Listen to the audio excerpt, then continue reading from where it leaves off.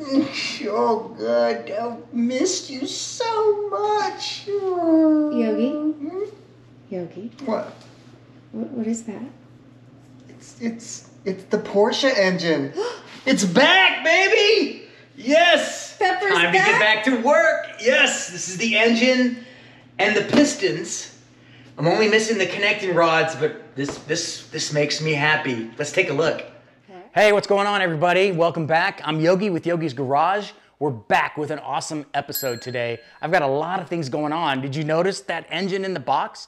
We're, we're gonna get a closer look at that beautiful thing, yeah, because I've been waiting for months for that. And the connecting rods finally came, and the pistons are here. So I'm ready to start putting the Porsche 911 engine back together, finally. Uh, but also, I got to get this wagon out of here, man. The wagon is almost finished. I got a few more things to do. I got a vacuum leak. I think I need to replace the gasket on the throttle body, as well as whatever else it needs. I think it was leaking some coolant. Got to replace the radiator cap, things like that. But a lot of work going on here at Yogi's Garage. So I'm going to give you a tour of the engine so you can take a look at it and then we'll go right over to the wagon and get that one out of here so we can start working on the Porsche. Oh, one other thing I need to do is blueprint the engine, right? So it's not just some run of the mill engine. We're talking about a four liter high performance flat six engine. So I need to make sure that all of my tolerances are within spec. So that means I got to blueprint it. I got to measure and mic the crankshaft. I got to mic the journals on the carrier as well. So I got a lot of little math nerdy things I got to do, but you got to do what you got to do in order to feel confident about putting an engine together. I'm kind of learning that as we go along because as you know, I haven't done a whole lot of these. I've rebuilt one engine so far in my Yogi's Garage career, which by the way, I'm on my two year anniversary. So hopefully I might get some kind of surprise during this video and we'll get to celebrate two years of Yogi's Garage. But anyway, this engine's the second one I've rebuilt. The, the Gunther engine was just a swap, just a replacement. So I didn't really break it apart and have to do any of that. But now I'm back to blueprinting, so joy.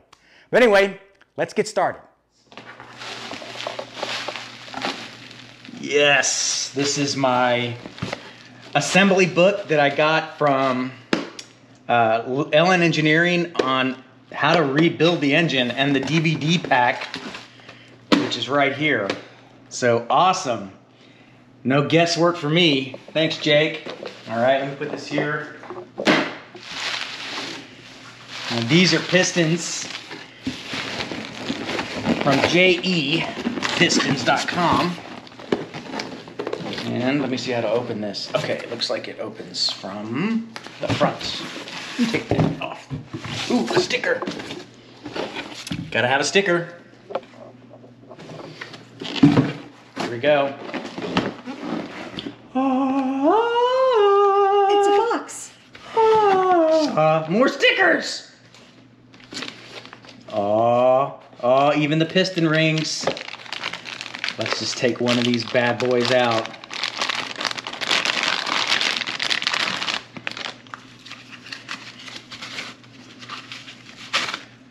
Oh, look at that beautiful thing. Oh, yeah. More hearse purrs. Purse, purse. Purse purrs. All right, now let's let's take a look at the engine, huh? Uh-huh, yeah. Yeah, yeah, yeah.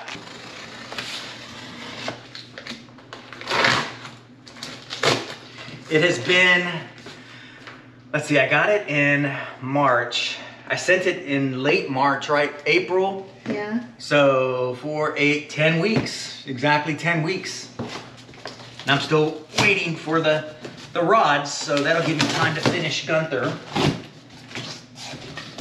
All right. My cylinder head gasket. These are custom 4.0 cylinder head gaskets. Those are expensive, very expensive for what they are. Okay, here we go. We all remember what it looked like before, and if you don't, I'm gonna put a picture up of what these cylinders look like after I screwed them up when I hot tanked them. So, let's see what it looks like now. Ooh, look how clean it is. Wow. Oh. Oh my God, it's like it's brand new. Oh yeah. Look at that. These are Nickies, baby. There. I love you so much, man. I love you so much.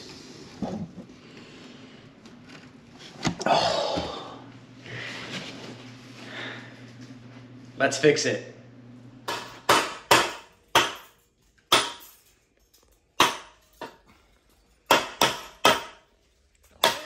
What is that? What is, what is this mangled Hey. Piece of metal you have here? Well, this mangled piece of metal is the dipstick that goes into the transmission on the Mercedes.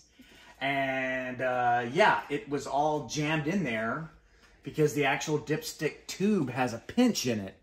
And what I'm thinking is this little bent part right here is what jammed it up. So each time the mechanics tried to push it in, it just kept kinking it and kinking it.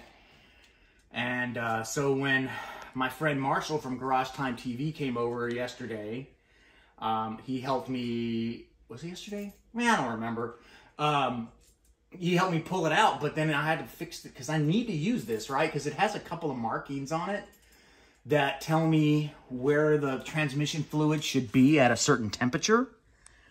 So I need this, but unfortunately, I'm probably going to have to cut that tip off and then move these marks up accordingly to compensate for the loss. But before I do that, I got to straighten this thing out. So I'm going to do that first. All right, dumb question. All right. Um, how much is a new one? Uh, it doesn't matter if it's new or not because this tip comes with all of them. Right. So I can just straighten this out, use it, because, you know, if I fix the leak, I won't have to worry about the transmission fluid for a while. But, you know, I don't know if it's worth getting a new dipstick, but I don't know. And yeah, I'd have to buy the whole tube, and the tube is not cheap. Okay. I thought if maybe you could just get the stick, if it were, you know, I don't know, 10 bucks, maybe that saves you. Yeah, you know, I think if it was, if this was a Ford, maybe it'd be ten dollars, but this is a Mercedes, so you'll have to double that. I'm starting to see a trend here, Yogi. You know, Audis and Mercedes and Porsches. Like, why can't you just fix a Toyota? Who's gonna watch a video on a Toyota? Somebody? Nobody. watch a video on a Toyota. You're funny. Well, hang on. Isn't that the bottom of it? This is what goes in. Right. So why would you ha- have to remeasure? Are you suggesting that I go this way with it? Well, which which is the part This that is the top. right? This goes in. Correct. This is too big.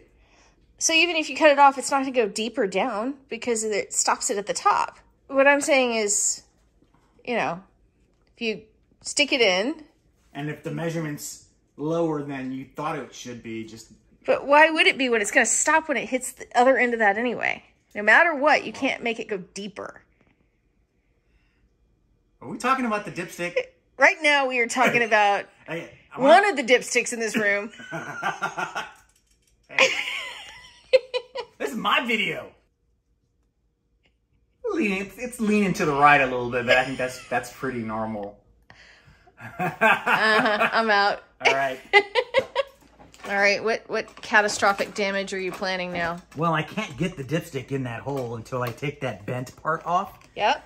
So I'm not going to worry about grinding it off or bending it straight. I'll just cut it off. Be still. I'm trying to get it can't right focus. there. There we go.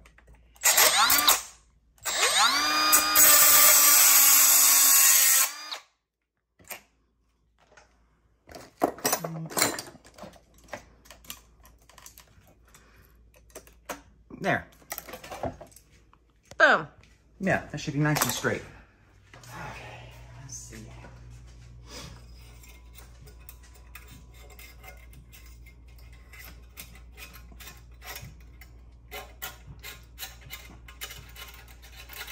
Don't get too excited, man. Well, it's getting stuck. But I'm gonna put some tape on the end there so that little plastic thing doesn't go taking a trip. You're gonna pull that out. It's gonna be just as mangled up as it was before. it wants to mangle really bad, it really does. you are just re-kinking it. The moment of truth.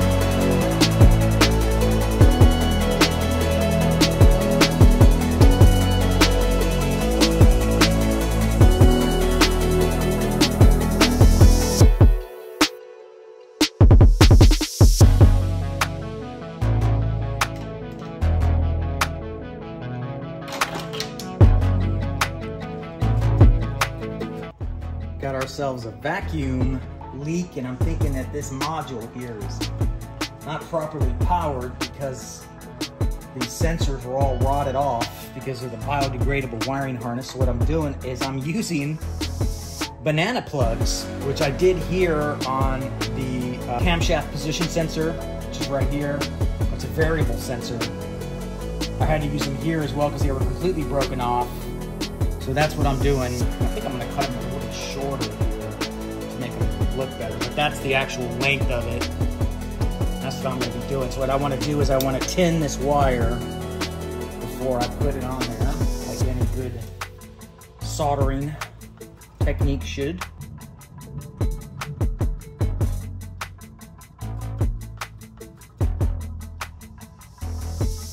Since I cook, I think of that as coating everything in flour before dipping it in your egg and Right. breading That's pretty accurate. to make sure it sticks. Yeah, these are mine.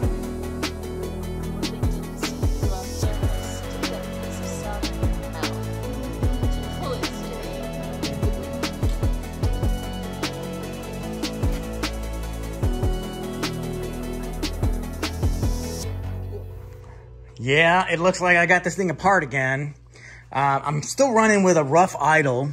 So, uh, with some advice from the guys on the forum, they told me to make sure that I replace the gasket on the throttle body, but I did not do that. So that's a low hanging fruit.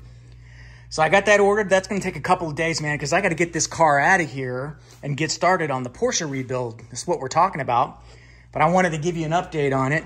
So while I'm at it, I'm going to go ahead and take a look at the vacuum diagram here and make sure everything is routed properly. It's got a rough idle. The only thing that makes sense is there's a vacuum leak somewhere or the throttle assembly is faulty. And that's not a problem. I got two other throttle assemblies that I can choose from. And I'm pretty sure the one that was originally on Gunther will work. So I've got a path forward. What in the world are you doing? It's called miking. I'm using a micrometer to measure the diameter of the journals uh, for the connecting rods, and then I need to measure the diameter for the journals for the main bearing. Yeah. And what I have to do is I take these measurements and then I measure the same thing on the inside, for example, on the connecting rod. I take those two numbers, figure out what the difference is, and that's your clearance. And there's a certain tolerance level that each one of these is allowed to have. If it varies beyond that, you could have issues with your engine. And uh, it took you a little brain power to figure out how to I'm read what it's. I am a mechanical genius now. This makes me smart. I feel my brain like flexing right now. All right. Yogi brain. Yogi brain. Yogi super brain.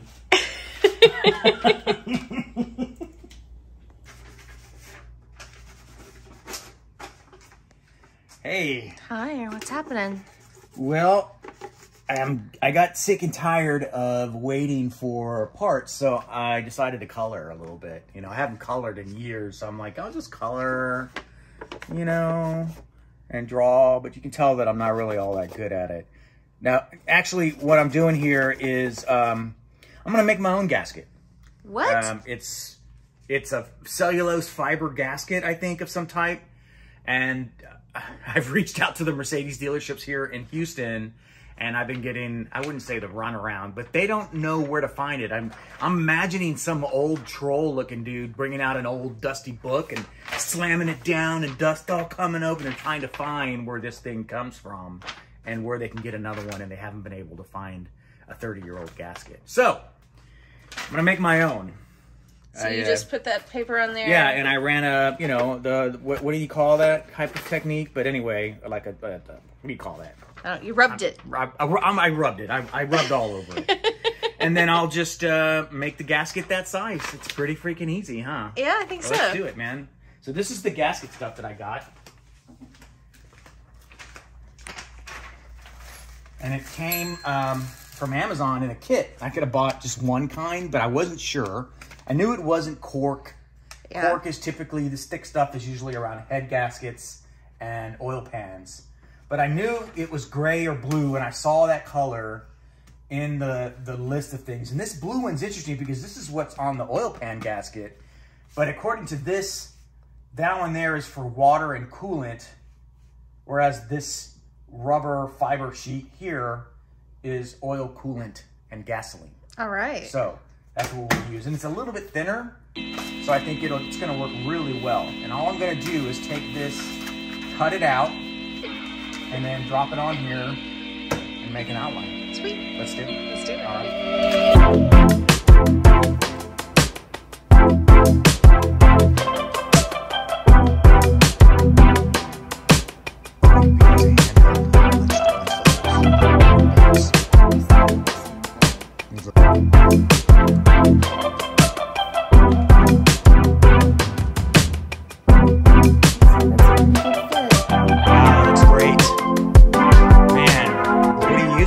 Using there, Yogi Mama, to make those holes? Looks like something I'd see at a at a uh, elementary school. Uh, literally a handheld hole. But.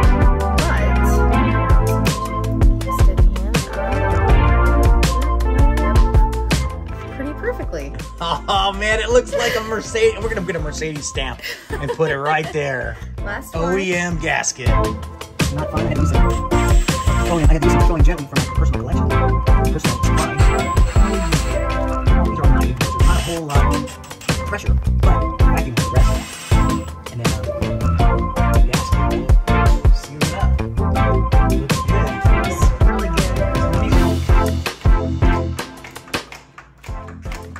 I have to use three different types of number six Allen keys to get all of these bolts tightened because they're all in different spots and not one single tool can do all the work. So thanks a lot, Mercedes. Really appreciate it. I have a high level of confidence that this is gonna work When are you starting it? tonight. So quit talking to me. That's what I'm supposed to do. Don't tell me you not to talk to you. I was kidding. That's right. You're just kidding. I had to take a picture of that.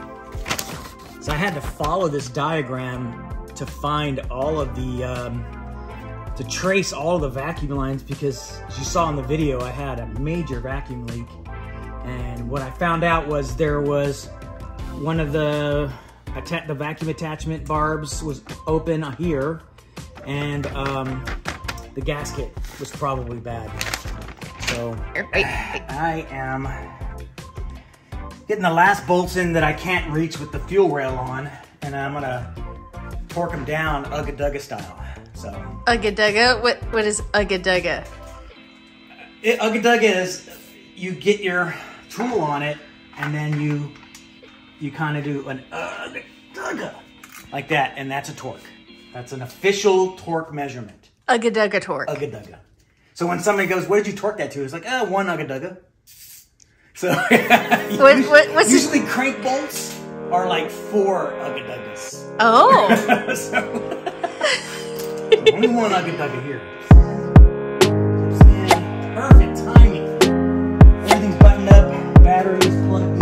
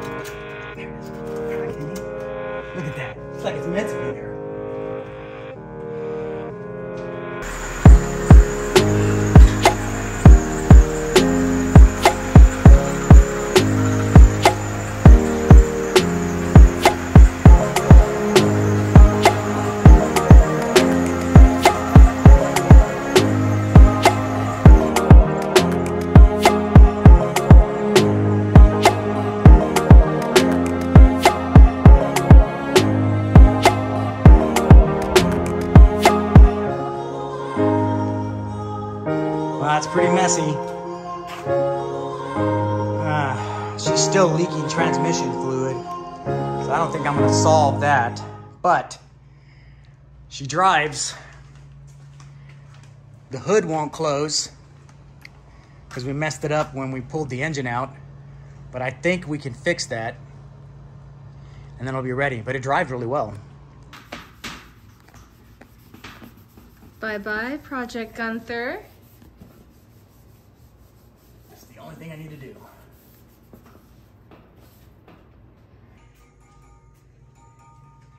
Oh, let's not blow this out. Michael. Hey, baby, what do you got there? Well, take a look. Is that a number two? Yes, take it. I will. Thank you. It's Yogi's Garage, Yogi's Garage second anniversary. That's right. Happy birthday, Yogi's Garage. Happy birthday, Yogi's Garage. Wait, make a wish. Oh, yeah. 10,000 subscribers by October 1st. See if that happens. But you told everybody. And now it's not going to come true. Maybe okay? just a thousand? I'll take a thousand by October 1st. Okay. Please. Happy birthday! Happy birthday! Hey guys, that's about it. I'm gonna wrap it right there. You can see there's a lot that has to be done in order to put all this back together. And I need to make sure that this crankshaft and the carrier and everything else is in good shape before I start wasting anybody's time and my money. So, with that said, this is your first time visiting Yogi's Garage. Thank you for that. If you like what you saw, hit that subscribe button and hit that thumbs up on your way out. And leave a comment down below. I'd love to engage with my viewers. And oh, by the way, I'm less than 20 subscribers away from hitting the 1,000 subscriber milestone. So please help me out if you haven't done that. As I've said before, once I hit that 1,000 mi- milestone, I'm gonna be able, it's gonna open up a whole lot of opportunities for us, right, Yogi Mama? Hell yeah. Yeah, that means we don't have to spend as much of our own personal money to get this project off the ground because right now it's all coming out of our bank account, which I'm fine with. But if you guys enjoy it and you hit that like and subscribe, man, and YouTube's gonna pay me a few little pennies, I'll take what I can get. So thanks for watching, and we'll see you next time. Yo, yo, microphone check, make it a microphone check. Give it a microphone, I make the make it a microphone dead. Don't step to me, newbie, I could truly be moody. I could have played the fucking Grinch in the movies. I've been a part time shadow cat, part time. That is not a guy that I would ever want to try to battle rap. Snap, crackle, pop, mind fried to a crisp, make an MC into a wide eyed lunatic.